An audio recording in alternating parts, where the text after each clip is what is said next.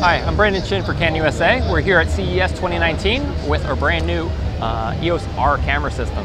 So what you see right here is our new EOS R. We launched this back in September of 2018.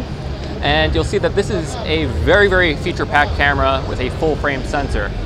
Uh, so if you've ever been interested in a 5D Mark IV, for example, uh, you know how incredibly powerful our dual pixel autofocus system is and our 30 megapixel full frame sensor. Uh, our EOS R is going to have all those great features of that 5D Mark IV, but it also features a brand new mount system. So this new mount system allows us to go and have new lens offerings. So this is the 24 to 105 RF mount. Uh, and what you'll see is that because of this being a mirrorless product, the overall distance between the rear lens and our actual sensor is much shorter. As a result, we can go and put our lens closer to our sensor and also have a larger rear element, which allows us to have a sharper overall image. So this particular camera uh, has a lot of great features about it being that it's a mirrorless product. Uh, your viewfinder allows you to record video in your viewfinder. You can see color temperature. You can go and do multitude of different things, including going and using our touch and drag autofocus system, uh, where you can actually touch the screen and move your autofocus system in your viewfinder.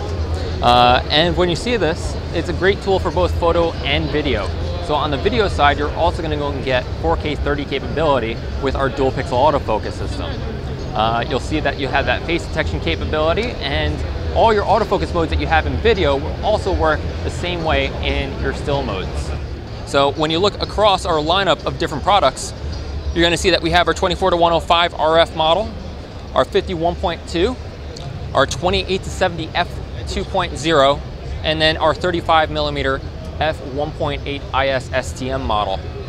Now, if you also have uh, an investment with us with different products as far as EF or EFS lenses, we have three different adapters. We have our standard uh, RF uh, uh EOS R mount to EF and EFS, uh, which is going to be a standardized coupler.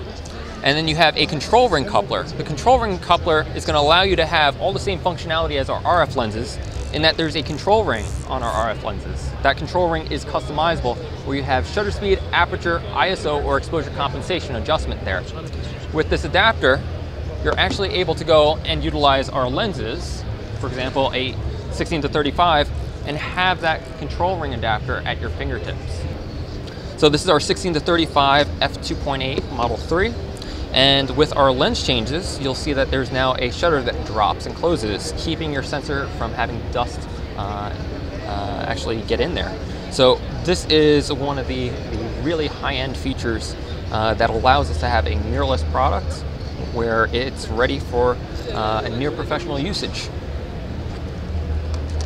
Now, additionally, this adapter ring, this would be your control ring adapter with your uh, ability to go and adjust shutter speed, aperture, ISO, or exposure compensation. On the back of the camera, you see the variangle screen, very nice, electronic viewfinder, and you'll also see that we have a uh, multi-function touch bar, which is a capacitive touch touch bar uh, where you can customize three different parameters, either a swiping feature, left tap, or a right tap, with a multitude of different features. Outside of that, you have a beautiful top screen. And when you power on the camera, you're seeing that you get additional information. It also backlights, and you get additional information as well.